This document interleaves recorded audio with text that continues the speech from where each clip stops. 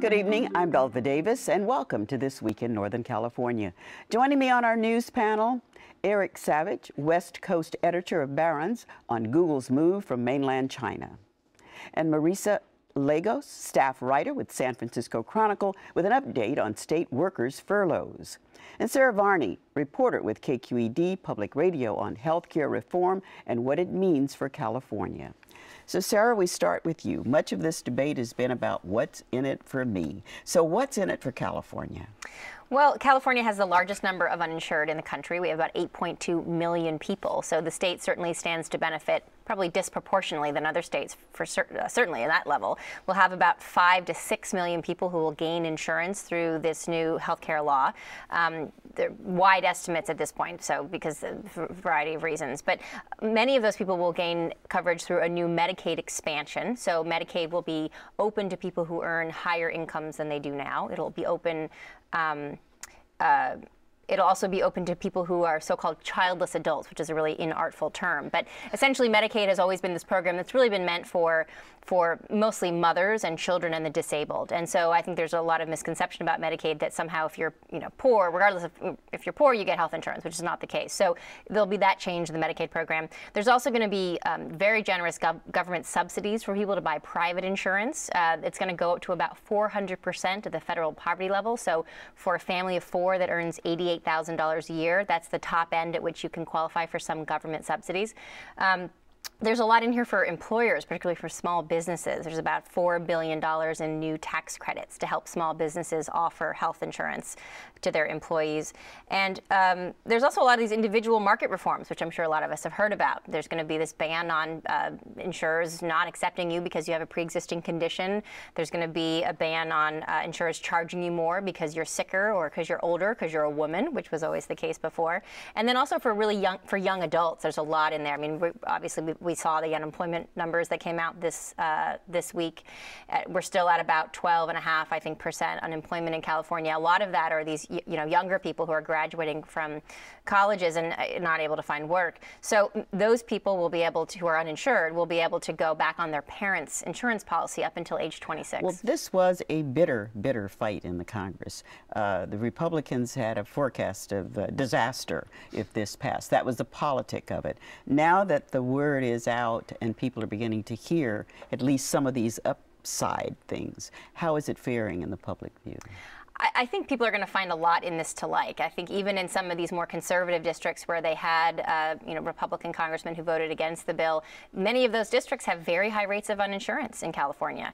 Um, many of those districts have uh, older people who, pre-Medicare age, who are not able to get insurance. So they'll benefit from these new high-risk pools. That's actually one of the very first things that's going to go into effect within 90 days of when the bill was signed. So just in um, just in a, a couple months here, you will actually be able to apply for a high risk uh, to the high risk pool. It's very unclear how it's going to work at this point, but essentially it'll be much more affordable coverage. There'll be no lifetime cap. There'll be no annual cap on your medical expenses, which is very different how the state high risk pool works now. So I think as people, I mean, I've, as I was saying before we started the show, I've been getting calls and emails from listeners just here's my personal situation. I'm 54 years old. I drive a cab. My son is 23 you know everybody really wants to understand kind of what's in it for them. But a lot mm. of this really isn't spelled out yet correct? I mean there's a lot of things that need to happen before you know for example you could tell me exactly how it might affect me if i lose my job is that true? There's, well, there's so the, the, legislation certainly establishes sort of the broad outlines of the of the program, and then it, you're absolutely right that now Secretary Sebelius' office is very busy trying to interpret what the Congress actually meant,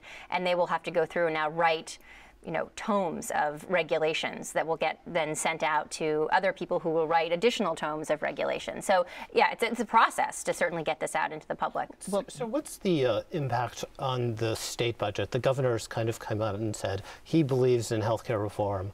Uh, but at the same time, uh, there's there's the real impact on uh, the state budget, uh, uh, which is already, of course, uh, in something of yeah. a difficult situation. So there's sort of two issues here. One is, you know, th there was this so-called Cornhusker kickback or whatever that was, you know, that there was somehow special treatment for certain states. That actually is now done away with in the reconciliation bill. So in the reconciliation bill, all states are treated the same, and there are they increase the subsidies to the states. So for the first six, about six years of this program, of this Medicaid expansion, of uh, of the high risk pool, all these things are actually 100% federally paid for. Mm. It is, and also there is an increase in um, a required increase in reimbursement rates to primary care physicians, which has been a big problem in California. You know, we are 49th in terms of our reimbursement rates to physicians in our Medicaid program. So this will greatly increase the reimbursement rates. It is true that after six years or so, those subsidies, the state will have to take on more responsibility mm-hmm. those subsidies. It'll still be a, a federal state sh- uh, split eventually. But, but you are correct in that the bill does say that the states have to have uh, maintenance of effort in their public insurance program. So in our Medicaid program, for instance, the legislature couldn't reduce eligibility, for instance, to save, save money to close the budget deficit. They can't eliminate the Healthy Families Program, which is a program for the children of low income, working poor families who are earn just too much to qualify for Medicaid. Which is so that the will, governor wanted to do. That will call, yeah, he had proposed eliminating that program. I'm not sure how serious he was about that. I think it was a bit more of a but he can't do it. And then there was the, on the add-ons, the odd bills that came after yeah. the major legislation. There was big news about Pell Grants and making it easier for students in California, particularly, go to college. This is true, and I should say I'm I'm, I'm the health reporter, so I I have there, the bill was big enough in terms of it what, what how it was going to affect the healthcare system. So I, I don't know. I love the about title of the healthcare bill, it, right? educational. Right. Well, clearly that was something the Democrats, you know, it was a priority for them, and mm-hmm. they they knew that this reconciliation um, vehicle was the way they were going to get it through the Congress, and so mm-hmm. that's the way they did it. Mm-hmm. So all the legislative things that have to be done have been done. done. Now it is the president the has manager. to sign the reconciliation bill. Ah, he has That's, not done that. He has yet. not done that. That doesn't seem like a problem. No, I don't think that we're going to have a problem getting him to sign that. Well, the, the governors, uh, we talked about him going off and on. We're now going to move directly to where he is really the guy. So, Marisa, the governor not only halted uh, the, the judge's order about uh, really stopping furloughs for state workers, but he also vetoed some legislation that would have done this. So, what ground is he standing on to do this? Uh, executive authority, essentially. Um, this is, you know, one of more than two dozen lawsuits that have been filed over the past year over these employee furloughs. Originally furloughed about 238,000 state workers. Uh, the lawsuit this week dealt with about 65 to 75,000 of them. And what it really um, was aimed at is folks that work at places that don't get their money from the general fund, the DMV, Caltrans, um, the employment office. And what the judge said was that this is causing harm and that these employees should get back pay and that they should go back to work. Now, the governor um, has promised to appeal this decision on Monday. If he wins that appeal, which he is, of course, confident he will, uh, these folks will have to stay home next Friday. If he loses, or if the appeals court says we need some time to really look at this, folks could be staying home.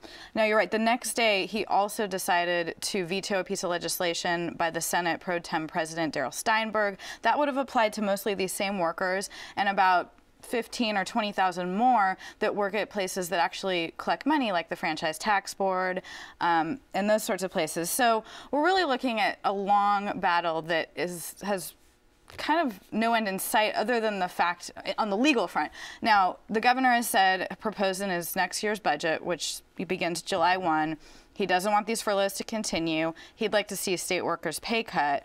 So that'll be a whole nother fight. But right now, we're really seeing um, all of this being adjudicated, and a lot of questions remain. What's going to happen if the employees continue to win, which they have, if the appeals court, if the Supreme Court agrees? Will the state owe more than a billion dollars in back pay? So, does it go past the appeal decision? Does the governor now have grounds to just say we'll wait till the Supreme Court gets around to it, or does the Supreme Court? Do we even know if the Supreme Court will take this? we don't know, and, and really we're talking about a number of different cases, so that's part of the reason it's so confusing. But in general, what happens, what, what has happened, is that the ju judges have ruled in general in employees' favor, um, but then have stayed those orders pending appeal decisions. So in general, everyone's still at home, um, except for corrections workers, of course, who have taken this pay cut and technically been furloughed, but still been working because you can't close prisons. Mm -hmm. So, you know, that case alone could cost the state more than, I think, $40 million a month in back pay. I mean, really talking big numbers here. Um, and I think there's valid questions about whether this entire policy has been a failure. I mean, in addition to the issues about um, back pay, there's all these employees that are now not taking vacation time.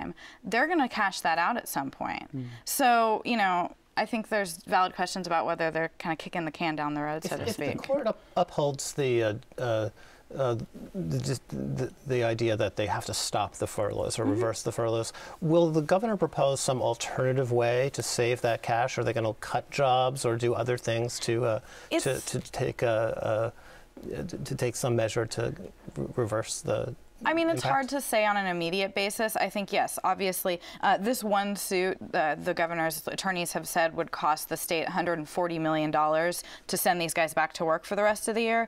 Um, I think what you'll probably see happen is a lot of threats of layoffs and things like that, but ultimately, they're just going to add this to the tab. I mean, let's not forget the state has a $20 billion deficit right now that could grow or shrink depending on a lot of different factors, but, you know, they don't kind of have to pay the same way we do. So there's always more cash going out than coming in at any particular time. So I think what you're going to see is legislators, lawmakers, um, in the governor's office have to make tougher decisions down the road. Well, the one thing we know is that if you cut hours to the degree where they are now, or if you cut employees later on, services have really been impacted by this. They have. I mean, we're talking everything from longer lines at the DMV to people not getting their employment checks or not qualifying for disability as soon as they could have. So, what folks like uh, the pro tem of the Senate have argued is this isn't just an issue about state workers, this is about the state economy. And I think that um, you've also seen uh, studies sort of debunking a lot of the governor's numbers saying, look, even if you're saving money on the front end, on the back end, you're losing, say, taxes we could have collected that now we can't because the statutes run out. So I think um, there are a lot of concerns about whether or not this is actually going to do more harm than good. And then we have the fact that the governor will go home near the end of this next year. That's right. I It'll be mean, somebody else's problem. It, it will be. I mean, really, uh, especially when you look at things like vacation pay that's going to get cashed out, that could happen years from now. So the sort of full cost of these and impact will probably fall to the next governor, who that, whoever that may be. Well, our next story has to do with a giant move that could cost a lot of money, but this time in the private sector. So, Eric, Google has moved its operation from mainland China. What has been the, the reaction from other Silicon Valley companies and the Chinese government? Well, the other Silicon Valley companies have said very little, uh, as little as possible. Um, no one, almost no one, uh, has stepped up to uh, pat Google on the back and say, we're with you in solidarity and leave China with them. Um, to the contrary, um, Microsoft and a number of other companies uh, who work in the technology business have basically said, we're staying in China, there's a big market, um, we'll, we will work within their rules and try and make change from within. Um, so it's uh, Google's kind of standing alone here. Uh, there's one small company, uh, GoDaddy, which is a, uh, uh, a company that registers domain names, but it's probably more famous for their Super Bowl commercials, I think, um, that has said that they will stop registering Chinese uh, internet domains, but it's very small business for them. But none of the major companies are saying they're going to leave. Is Microsoft's response to this? Are they uh, are they pretty excited? Um, we'll well, take that business. this is actually an opportunity for Microsoft. Uh, Microsoft has a search engine uh, called Bing that has actually been doing better domestically. Um, they are less than 1% of the market in China, um, so they see some opportunity to gain some, some market share. But good, uh, Microsoft's position is we've been doing business in China for more than 20 years. Uh, we will continue to do business in China. And that's despite the fact that they are aware of the, uh, the, the restrictions and dangers of working there. There's a very high rate of piracy for uh, Windows, for example, in, in China. Um, and so they are aware of the situation, but they believe that the market opportunity is so big that they really can't afford not bit to be of, there. Background on why Google made such a surprise move, we'll say. Well, so this really started in January. Um, uh, Google had been operating in China and had been censoring the search uh, search engine results as uh, the government had requested. Um, however, Google announced that they uh, discovered that their uh, their website had been hacked. Uh, by parties in China. They didn't say that it was the government, but they certainly hinted pretty strongly that it was. Um, and in fact, what was happening was that someone had hacked into the uh, Gmail, Gmail, of course, is the, uh, the email service uh, from Google, uh, into Gmail accounts uh, held by uh, dissidents um, who were opposed to the Chinese government, um, and, and basically reading all of their email. Um, Google reacted by saying this is unacceptable. um, we're going to change our policy on, on censoring search, and uh, um, and now we've gotten to the point where they're actually going to leave. at the time this happened, Google did say that uh, they were not the only uh, company that had been hacked; that there were maybe uh, 15 or 20 others. Um, the names are uh, uh, have not really come out, and I think uh, no one has else has stepped up to say uh, we're getting at and what China. does this mean then for, for people inside of China? Particularly, I'm thinking of for academic researchers who rely on Google really to go to find journal articles, those sorts of things. I mean, what does the internet look like for them now that they don't essentially have a, have Google? Well, certainly Google was not the only search search, search engine in China. Uh, the largest player is a company called Baidu, which is a local uh, Chinese search engine. Uh, there are a number of other players. Microsoft is there. Uh, Yahoo China is actually uh, a company that's uh, not owned directly by Yahoo but does operate in China, and there are a few other local players. So you, you have other ways to find information. Um, interestingly, most of the coverage about the reaction within China has been that the majority of the citizenry uh, seems to be supportive of the government. Um, there is, however, um, you know, a sizable minority that thinks that this is uh, uh, unfair and uh, uh, and not a good thing. so, so we're talking term. about one of the biggest markets, you know, that exists yes, potentially. Google's share of market, though, was not that great. So, do they stand to lose a lot of money in the near future or on the long term? Well, so um, they were the number two player. They had about a third of the search uh, search engine market. Uh, but of course, the market in China is still, while growing fast, is still relatively small relative to the rest of Google's business. It's uh, by some estimates, 1 or 2% of their revenue. So leaving China is not going to devastate uh, Google's bottom line. On the other hand, the opportunity in China um, on the internet, as in many other uh, areas of commerce, is tremendous. Uh, so uh, uh, the question is whether if they walk away now, um, are they giving up huge upside if you look five or ten years down the road?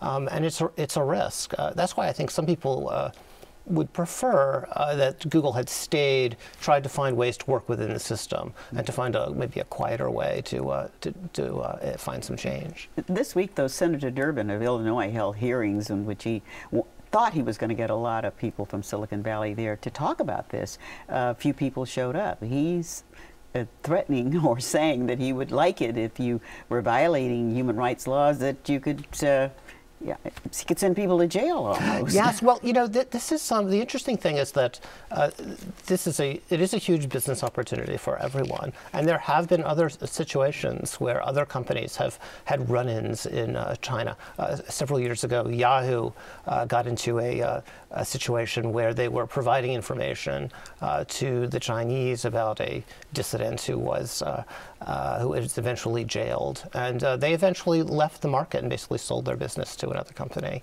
Uh, so it, it's uh, you're not going to find too many people who are going to want to jump in and. Yeah. Uh, and uh, take Google's side, I don't think. Well, my thanks to all of you for joining us here tonight.